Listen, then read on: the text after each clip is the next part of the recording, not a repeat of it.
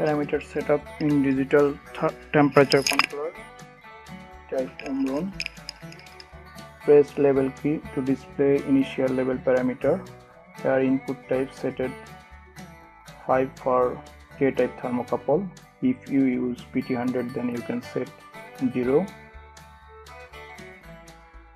or any other device you can use as per requirement temperature unit set it as a Celsius. So set C.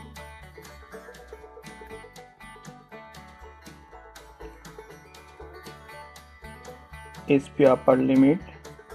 Here we set it 250 degree Celsius.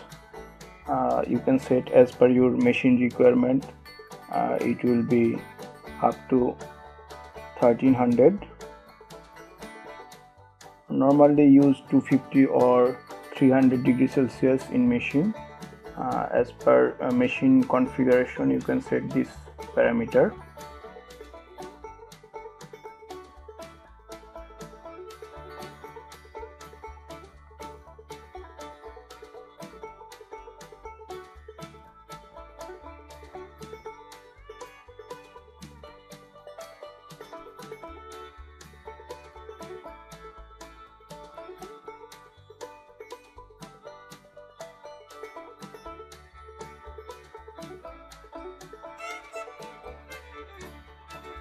now set lower limit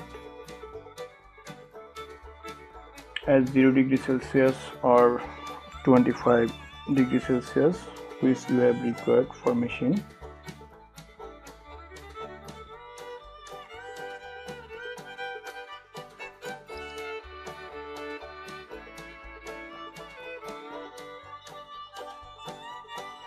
This parameter is conflict type here set uh, parameter mode is on off.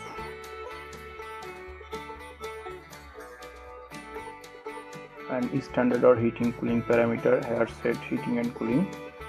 So now press level key to return home screen. Now we can use this temperature controller in machine as per requirement. Also we can set parameter as per machine requirement or output type and input type